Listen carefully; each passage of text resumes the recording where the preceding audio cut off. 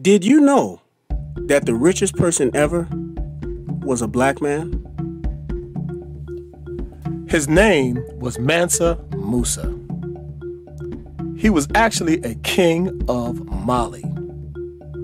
And his wealth was so immense that it was hard to really determine how wealthy was he.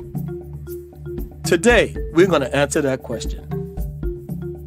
Mansa means emperor, so Mansa Musa means Emperor Musa. Mansa Musa was born in 1280 into a family of rulers. His brother Mansa Abu Bakr ruled the empire until 1312 when he surrendered his throne to go on an expedition. According to 14th century Syrian historian Shihab al Umari, Abu Bakr was obsessed with the Atlantic Ocean and what lay beyond it. He reportedly embarked on an expedition with a fleet of 2,000 ships. The ships included men, women, and slaves. They sailed off never to return. Many believe they reached South America. In any case, Mansa Musa inherited the kingdom his brother left behind.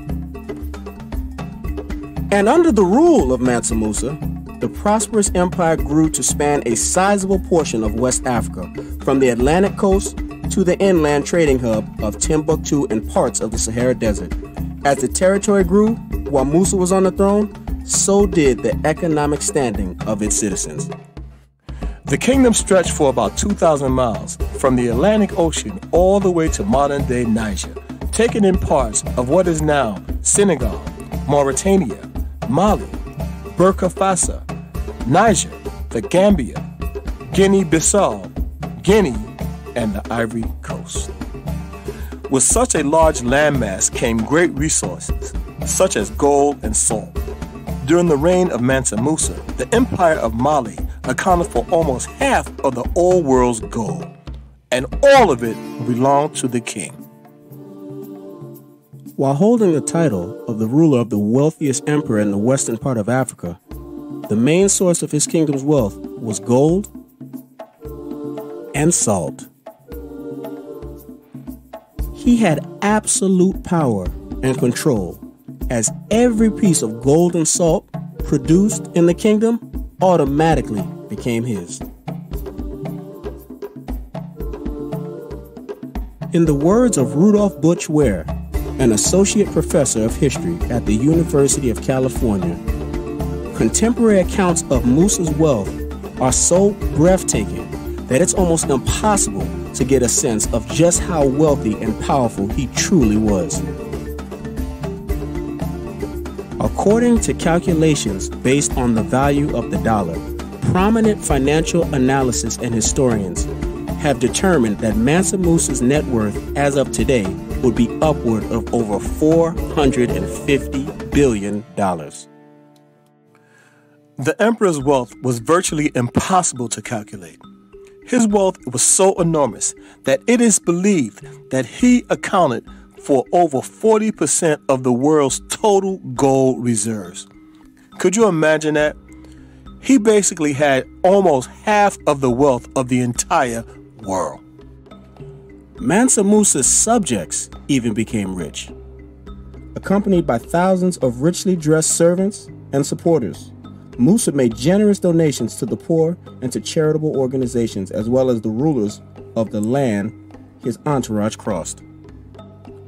Mansa Musa was a devout Muslim, and not one to travel on a budget, he brought a caravan stretching as far as the eye could see. He made a legendary pilgrimage from Mali to Mecca. On that journey, he traveled almost 3,000 miles. On this caravan, he took over 70,000 subjects, consisting of his entire royal courts and officials, soldiers, griots, entertainers, merchants, camel drivers, and 12,000 slaves, as well as a long train of goats and sheep for food. It was a city literally moving through the desert a city whose inhabitants, all the way down to the slaves, were clad in elaborately stitched gold and the finest Persian silk. a hundred camels were in tow, each camel carrying hundreds of pounds of pure gold.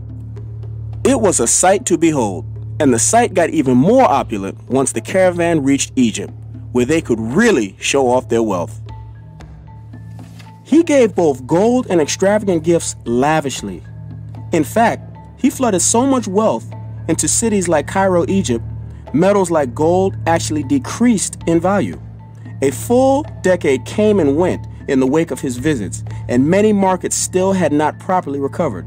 In the end, Musa gained back at least some of the gold he had given away, picking it up at a high interest from Cairo lenders. He by himself actually caused global inflation. The emperor also made generous donations to the poor and to charitable organizations as well as the rulers of the lands his entourage crossed. But don't be confused. He knew how to spend money. The ability to spend money is not a major accomplishment in of itself. However, when you consider that Mansa Musa frequently traveled with a caravan of 60,000 subjects, you have to understand that displaying and spending wealth like this can be seen as an accomplishment unto itself. This map gives a depiction of the journey from Mali to Mecca. It was a journey, as stated, that traveled almost 3,000 miles. Imagine that, folks 3,000 miles through all types of terrain deserts, storms, mountains, seas. And these 70,000 plus people were able to do that.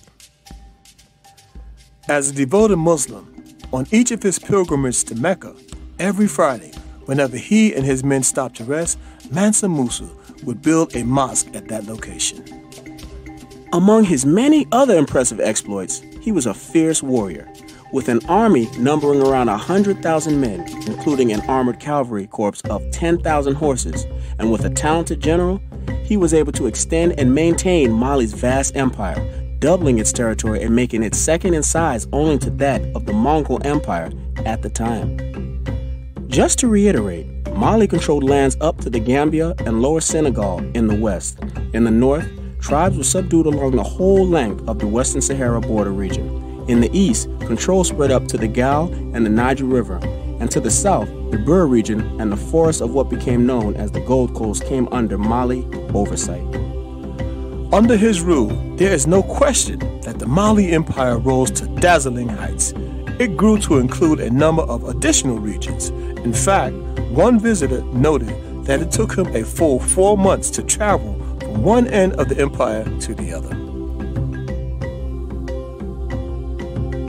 Mansa Musa was indeed a champion of Islamic religion and learning.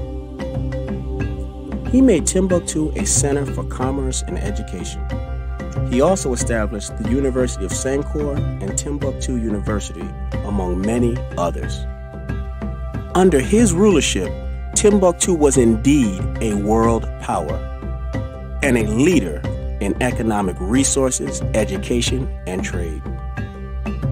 A number of famous structures went up during his lifetime, including the Djingar Mosque, which could be seen in this slide.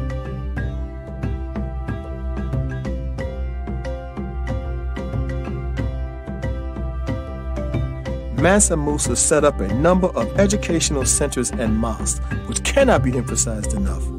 Architects came from both Spain and Cairo in order to build not only his staggering palace, but other buildings as well. Although the palaces does not exist in its present, it is worth noting that the university and mosque both continue to stand to this day.